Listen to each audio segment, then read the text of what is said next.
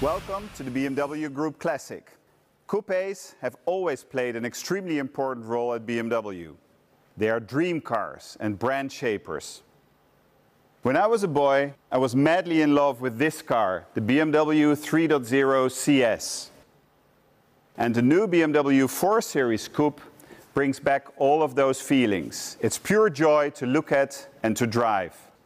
It embodies the very essence of the BMW brand. The 4 is a forward-looking interpretation of BMW's enduring DNA. It gives you a good idea of how we want to combine the very latest in technology with a very strong and evocative design at BMW in the near future.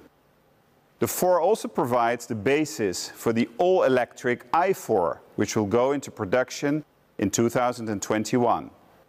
This second generation of the BMW 4 Series stands for even more aesthetics and dynamics than the first and distinguishes itself even more clearly from its sibling, the very successful BMW 3 Series.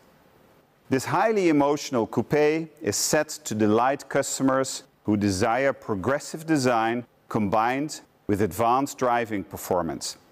It's a true BMW, a pure driving machine that sets the benchmark in its segment. And for the first time, we will offer an M Performance model in the 4 Series. The M440i xDrive, which I'm sure you're going to have a lot of fun driving. Our head of development, Klaus Fröhlich, has been doing just that. He took it out for a spin on the track recently, and now you will hear firsthand from Klaus all about the superb driving dynamics of the 4 Series Coupe.